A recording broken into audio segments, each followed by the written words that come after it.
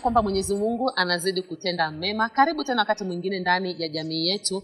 Na siku ya leo tumekita kambi hapa kwenye kaunti ya kajiado eneo la matasia ambapo niko kwenye boma la familia ambayo baba ni mgonjwa kwa miaka kadhaa na anayemuuguza ni mkewe ambaye pia na yeye pia ni mgonjwa. Kwa hiyo ni mgonjwa anauguza mgonjwa mwingine. Mbali na kwamba ameugua kwa muda mrefu matabibu nao wameshindwa kujua haswa kile kinachomsibu na hata kumpa matibabu. Na hasa ndo tumetaka kujua nini haswa kimesababisha masaibu ya hii familia. Naitwa enaeli luseno karibu tuandamane pamoja ndani ya jamii yetu. Nini imefanya uso ikafura? Ha? nini imefanya uso imefura? Sasa daktari aliniambia mm. mimi ni mgonjwa wa roho, roho inapiga piga haraka. Ah, hiyo moyo kupiga haraka ndo imefanya miguu yako na uso inafura eh, hmm. mm. pole sana mama yaani nimefura mpaka huko. Mimi si mnono. ni kufura uh.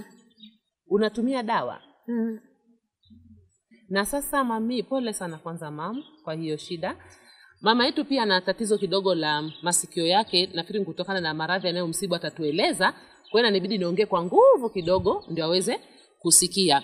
Ah, labda pengine mami pia utuambie habari ya mzee. Mzee naye amelala miaka mingi, Ah, alikuwa amekatwa mguu, kukatwa mguu. 20 2016 mwezi 12 akaparalaisi ingine ilikatwa na hii imeparalaisi na halafu yaani ameparalaisi pande moja, hiyo iko na mguu.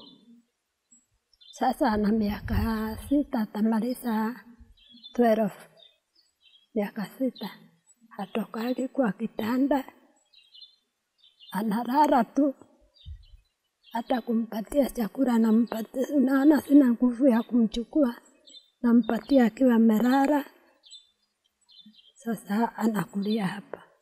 nini ilifanya akakuwa hiyo na hiyo ugonjwa nini ilisababisha shida ya mzee Mimi sasa, unajua mguu hiyo ili ilisikuwa na weusi, ukiifinya hivi ni kama hii mawe. Kampeleka Kenyatta akakatwa mguu. Ninaona sasa kurudi huko, akamaliza siku kidogo akaparalaisi. Sasa mambo inakuwa gumu sababu sasa hii kuparalaisi, najua hawezi kuamka, na mimi nikashikwa na hiyo ugonjwa. Nilikuwa na sukari mbele, nikashikwa na hiyo ugonjwa. Sasa. Iliisha, ndio mwaka wa korona, nikashikwa sasa tena nikupiga piga roho. Sasa nimekaa hivi. Nikapigwa pesa ya elfu sita tisa tisa, nikapigwa ya roho, nikaambia roho ndio iko na shida, sasa nakunywa dawa. na hapa tulipo mami ni, kwa, ni kwako ni kwa boma yako Kulikuwa kwangu, sasa ugo- magonjwa imezidi, nikaiuza. Sasa huyu mwenyewe anasema ni, ni hame na kuhama. Kuna shamba ingine hapa nilinyang'anywa na, na mtu, ikiwekwa beacon anang'oa, imewekwa mara pili na register ameng'oa mara pili. Sasa ninashindwa tapeleka wapi mzee? Labda ndio ikafanya ni nidudadude roho hiyo. hmm. hiyo kunyang'anywa ilikuwaje wakakunyang'anya shamba yako Aliuziwa na mzee, kuuziwa eight quarter, akaibiwa na na Safia hivi. Sasa hivi hiyo iki- ikitoka, ningechukua nyumba yangu nipeleke huko. Sasa haijatoka, naye ule wakili nilikuwa naye anataka pesa elfu saba anataka nimpatie ndio harakishe hiyo kazi. Sasa mimi hata sina hiyo pesa, tafanyaje? Kaa tu hapa wakiniambia nitoke. na labda pengine mami umesema kwamba walikunyang'anya hapo na wameng'oa hizo beacon mara mbili hiyo hmm. umepeleka kesi mahakamani na imekaa kwa miaka ngapi kwa muda gani Hey, huko mahakamani Unauliza, unaona uh, wakati Moi alikuwa na, anatawala, ndio nilianza kama miaka tano ya, ya, ya, ya nani. Ya moi? Eh, ni moi ama kibaki? Moi. Moi. Si ndio? Ehe. Sasa nimefuata hata pesa imeisha.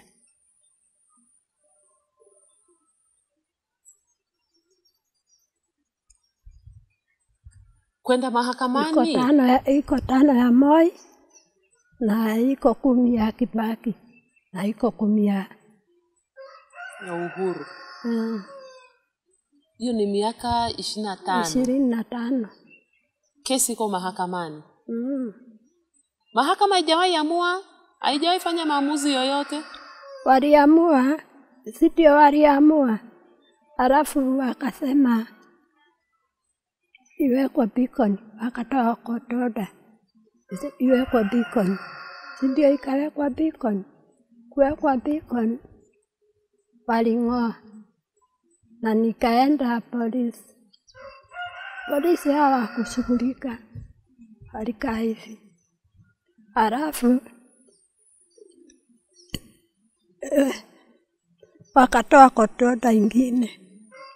Iwekwa beacon na ikawekwa na tukakorokea na, na simiti wakang'oa, waling'oa. Hiyo mara ya pili waling'oa mwaka gani?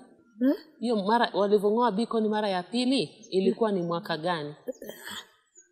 2016 mwezi wa nne. 2016 ndio mzee akaparalaisi 2016 uh, De December 12 nani aliuzia huyo mtu shamba ni mzee, lakini unajua alikuwa mlevi mlevi, hakututabua. Mimi ndio nafuataga hata akiwa vizuri. Alikuwa mlevi mwenye alinunua ama mzee wako huyu mzee. Wakati walikuwa anaweka beacon, huyu alikuwa mlevi, hakujua kama ni kubwa ama ni kidogo. Sasa mi- nimesumbuka, sasa nimeshindwa. Sasa ni kijana nashughulika na hiyo, nikimtuma naenda. kama alikuwa mlevi mami mlijaribu kufuatilia uone kweli ile aliuziwa ilikuwa ni hiyo sehemu yote ameweka fence ama tu aliuziwa ile sehemu nyingine lakini ulevi ya mzee kafanya, wakachukua sehemu kubwa zaidi Mm, si ni kubwa mm. mm. Ulevi wake ndio ilifanya ichukuliwe, sababu haangalii haangalii kwa, kwa futi. Unajua mtu anafuataga futi, hakuwa akishughulika.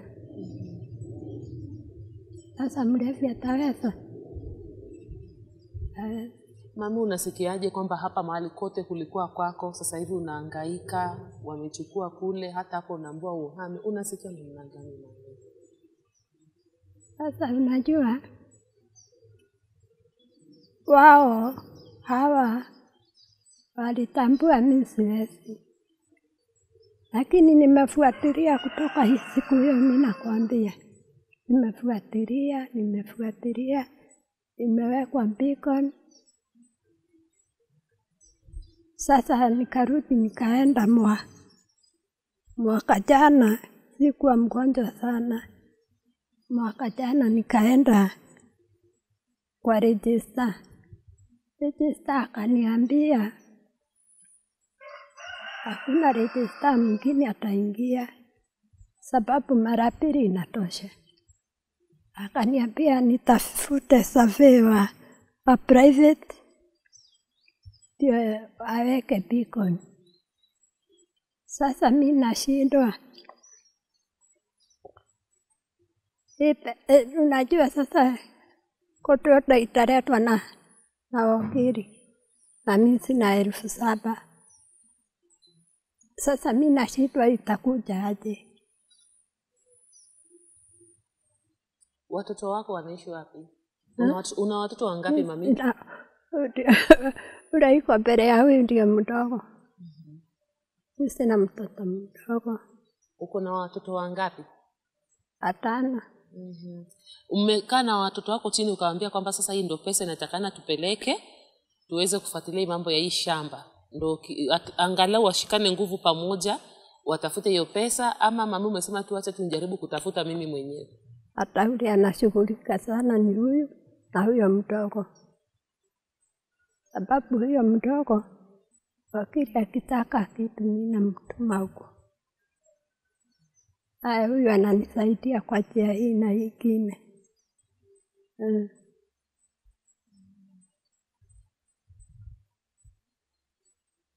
hii shamba yako mami umekaa hapa kwa miaka ngapi hata kabla hujauza umeishi hapa kwa miaka ngapi Uu, kutoka usichana wangu niliolewa huko Kikuyuni nikaletwa hapa hmm. Kutoka utoto wangu nilikuwa mdogo, sababu nili, nilikuja kwa mzee nikiwa na miaka saba, kumi na saba. Ana ni sijana wote eh, nimeishi hapa, watoto wako wote umepata hapa nimewapatia hapa. Mama huyu ameishi hapa toka akiwa msichana. Alipoolewa tu akaja akaishi hapa akiwa na miaka kumi na misaba. Hadi sasa hivi amekaribia miaka sabini akiishi hapa amezaa watoto wake wote hapa. Leo hana pake. Kisa na maana ni mgogoro wa ardhi ambao huenda pia umesababisha maradhi zaidi kwa mumewe anayesema kwamba kwa sababu alikuwa amekuwa mlevi kidogo hakuelewa na sehemu nyingine ya shamba ikanyakuliwa. Na sasa kuirejesha imekuwa ni kizungumkuti. Lakini pia tutasikia binti yake ambaye anasema kwamba huyo mwingine ndo ananishughulikia hapa kule. Binti yake pia tuambie kwamba mambo yako namna gani. Yetu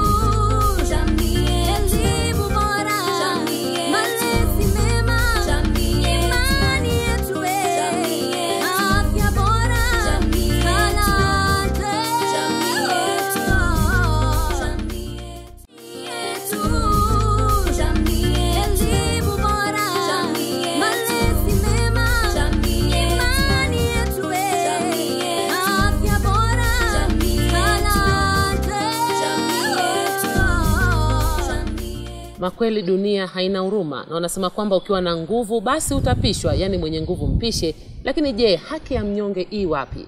Baada ya kufika hapa nkagundua kwamba si kile tu ambacho nilikifahamu kuja kutaka kujua zaidi. Lakini kuna mengi ambayo yamejificha ndani na kutokana na unyonge wa baba na mama wa familia hii ama wenye boma hili ambalo sasa si lao tunavyozungumza kuna yale ambayo yanafanyika mengi yanawakandamiza. Wanashindwa kwamba ni wapi tutatoa sauti nani atusaidie. Katika awamu ya pili najumuika na bintio binti wa boma hili atueleze hasa kile ambacho pia kimesibu wazazi wake na familia kwa jumla. Maanake pia yeye ni muhusika. Haki ya mnyonge makala jamii yetu. Shukrani sana whitney ama mama whitney? Trisha. Trisha. Hmm. ama mama nani? Josh mama? Josh. Hii whitney nimetoa wapi nikakupa whitney Sara Ehe, eh, hebu tuambie haswa ni nini ambacho kimefanyika kwenye familia yenu? Sasa hivi mama amesema kwamba hapa tulipoketi si kwake. Maanake kuna yule ambaye anapamiliki yeye anafaa kuondoka. Ni nini haswa kimefanyika? Mm, mwanzo ugonjwa ulitangulia.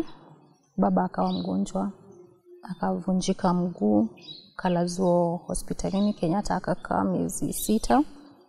Sasa alipokuwa amelazwa hospitalini kuna mtu alikuwa anauziana shamba na yeye.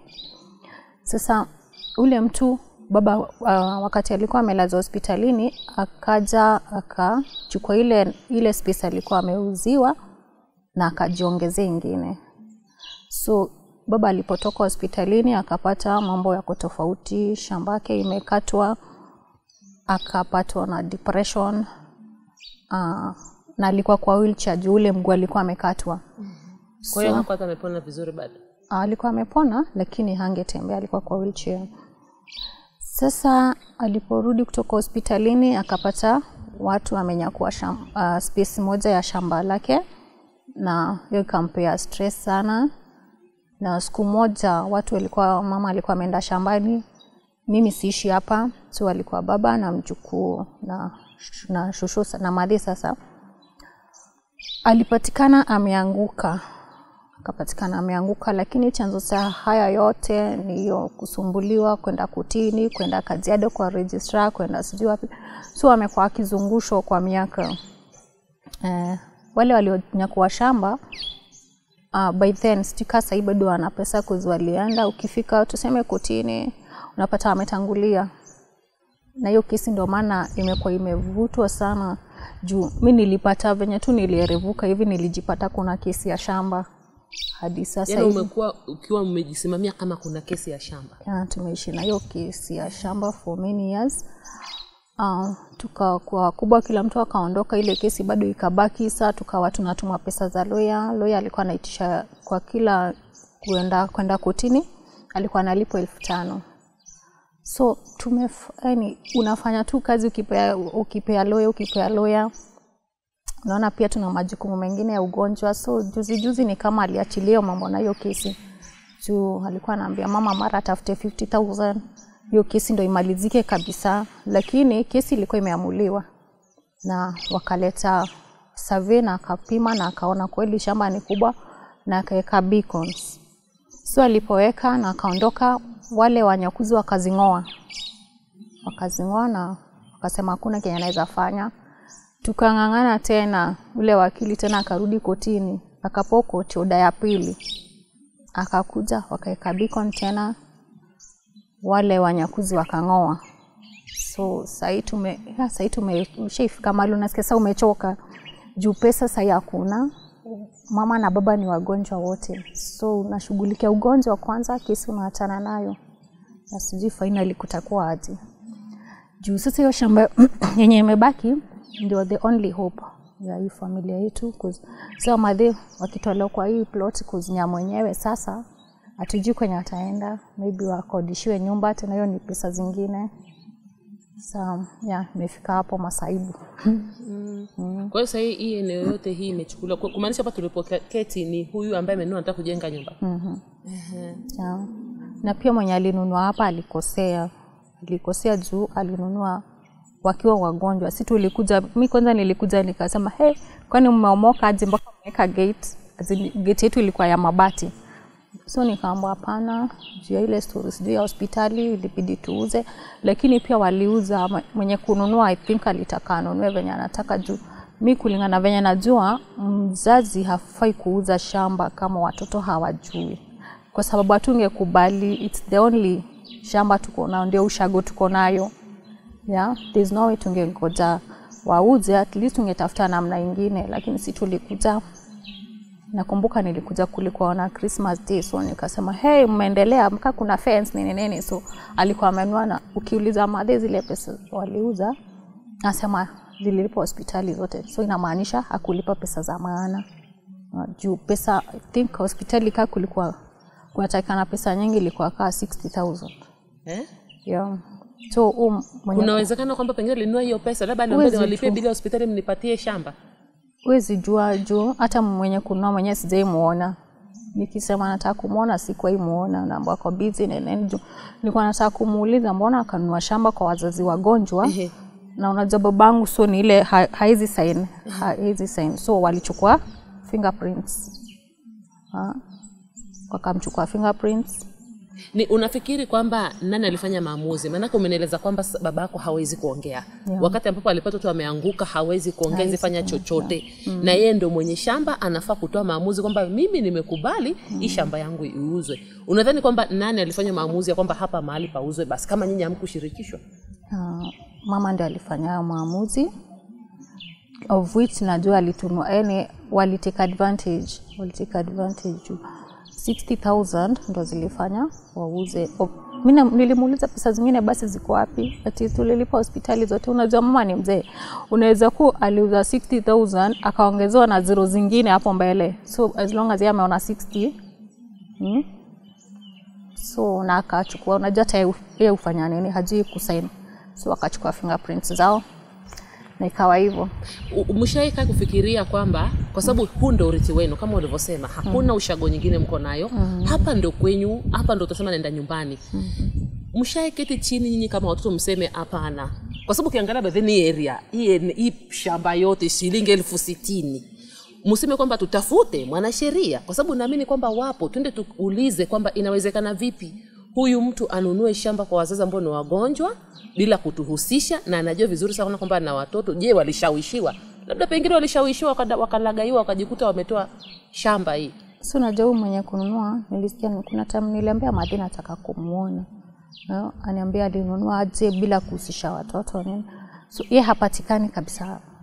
Tumemtafuta hapatikani. Na i think mwenye alinunua si mwenyewe sasa hivi alinunua na akauzia mwingine. Sasa unaona hiyo cheni kubwa. Hmm? alinunua yeye mwenyewe na akauzia mwingine. Sasa mwenye kununua huyo mwenye alinunua after wa kwanza sasa hatuwezi jua ni nani. Mbona mimi nafikiri hivi. Mujaribu kukaa chini na kuona vile mnaweza fanya. Tumejaribu tumejaribu. Jusaa venye tulifuatilia sana tukapata si mwenye alinunua tena ndo mwenyewe aliuzia mwingine. Huu mwingine hata tumjui ni nani ye ndo alikuja akaweka gate na akaweka fence. Sasa tujui ni nani. Hasa mnafikiria namna gani? Wow, sasa ama mnapanga vipi? Sasa hmm, ile mpango sasa tuko nao tungoje venye eh, kama kuna wakili anaweza saidia. Angalau mama arejeshe ile pushon yenye hakuuza iligrabiwa. Juu hii hapa hivi kuna chain kubwa. Tukianza kufuatilia tena itachukua another 20 years. Mahali palinyakuliwa hapo kuna rights codes. Hadi, hadi koti ilileta ilipeana court order kuonyesha nafasi ni yake. Sa si kazi ngumu sana zile ngumu uh, koti imefanya polisi walikuta wakaweka hiyo hiyo nini na huko, wakati walikuwa wanaweka watu chukua hadi panga. So wana wanatorosha hao masavia nini nini wanasema hakuna kupima tena tulishapimanga kitambo so wanawatorosha. The last time walikuja na polisi. Na unajua polisi ulipwa kila polisi kaa unataka polisi wawili unaulipa. Kila polisi 1000 plus za ule mwenye savia usaidizi ungepatikana. At least apate ile pushon yenye haina kesi kubwa. Kuzi ilikuwa imeamuliwa na koti. Ni venye walitoa hizo beacon, so at least irudishwe apate ile space. Hata kama ni kulingana yeye anasema hii- area ni kama ndio inam nini inamfanya anagonjeka sana juu ya mawazo. Ukitoka hivi unakutana na mwenye amegrabu shamba yako na una- na unajua si wale wa kunyamaza. Kuna wakati hadi walikuwa wanamtusi nini nini vituka hizo. Uh, kuna time pia walitusi baba akamwambia si hawezi fanya kisi na kiwete kituka hiyo. Uh, so angepata haki ile, ile space yenye iko apatiwe auze aondoke mahali hapa so juu huenda hata hii ugonjwa ako nao si ugonjwa ya kawaida juu ameenda hospitali amefanya nini bado ule uvimbe bado ako nao yeah? sa tungeomba tu usaidizi kama kuna mtu yoyote ama wakili ama nani anaweza tusaidia hiyo spesi irudishwe ndio wapate amani ha? baba ni mgonjwa lakini yeusikia ukimwongelesha ana nod hivi so bado anaelewa kenye kinaendelea sahii yuko kitandani hakuna kitu anaweza fanya yeah. nauma sana hmm. Makweli ni uchungu usioelezeka kwamba mahali ambapo mnajua ni nyumbani, sasa hivi hakuna hata mboga, mwezi panda hata mboga. Zile mboga ambazo mnaziona hapo si zenu. Eti, ukitaka hata mboga lazima mamia ombe, nichune mboga kidogo, manake si yake na shamba ilikuwa ni yake. Kisa na maana ni mgogoro wa shamba. Zaidi ya miaka ishirini kesi mahakamani, kesi imeamuliwa na huyo ambaye amenyakua hata baada ya uh, serikali kufika pale, manake ukiona maafisa wa polisi wametumwa pale na agizo la mahakama ni serikali imetoa maagizo na ikafika pale, anakiuka agizo la mahakama. Naamini kwamba kuna yule ambaye anaweza saidia hii familia ili kwamba waweze kupata kile kipande chao cha ardhi ambacho kimenyakuliwa. Maanake ishaamuliwa na ikawekwa alama, mbona basi wewe ambaye umekiuka uamue kwenda kinyume cha agizo la mahakama? Hakuna ambaye mkono wa sheria haumfikii, ni tu yule ambaye anaelewa jinsi ya kutembea kwenye hii sheria ajitokeze na kusaidia hii familia, angalau wapate haki yao na wakuwe na pale mahala wanaposema kwamba hapa ni kwetu. Haki ya mnyonge, makala jamii yetu. ina Eli Luseno, hadi juma lijalo, kwaheri. yetu jamii